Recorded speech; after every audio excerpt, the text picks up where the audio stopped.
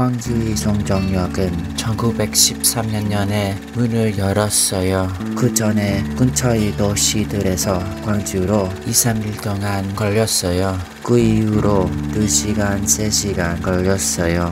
기차역 근처에서 시장이 지어졌어요. 20세기에 이 기차역이 많이 바뀌었어도 이 시장도 아직 있어요.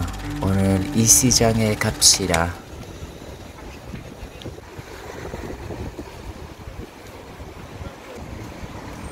저기 봐봐요. 저 파파이즈는 조금 이상한 것 같아요. 여행사로 바뀌었어요.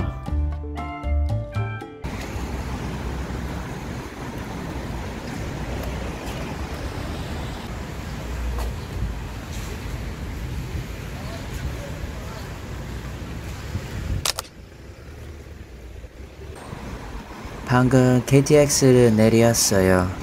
이 길이 좀 비어 있어요. 근데 밤에 이 길에 사람들이 많은 것 같아요. 시간 되면 밤에 있다가 꼭 와봐야 돼요.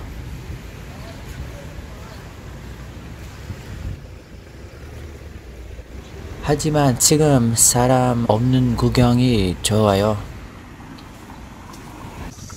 매미 들려요? 이 건물이 오래된 것 같아요.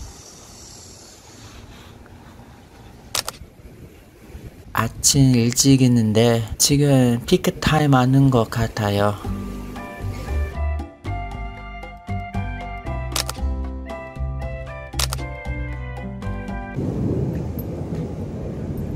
이 시장의 웹사이트에 따르면 밤에 이 길은 바쁘고 다른 시대에서 좀 가게 있어요.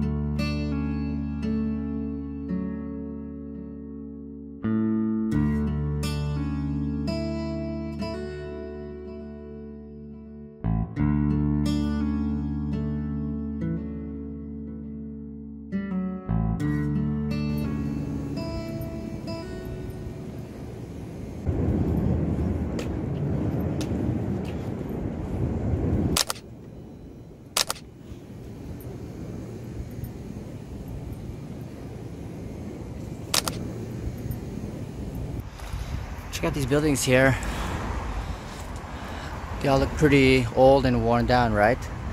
I think like maybe in the 1960s or something, these were all bars.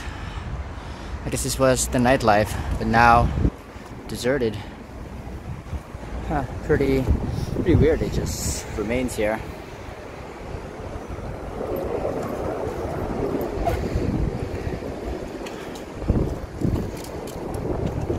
This is bar. These are all bars. Huh. Olympic. I really doubt this was connected with the Olympics. this was sanctioned by the Olympic Committee.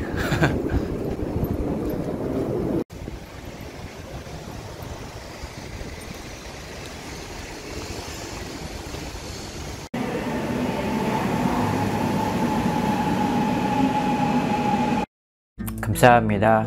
한국과 일본에 대한 비디오에서 구독해 주세요. 다음 비디오에서 계속 광주를 탐사할 거예요. 그리고 사진과 여행 노트 위에 새로운 웹사이트를 봐보세요. 다음 동영상에서 뵙겠습니다.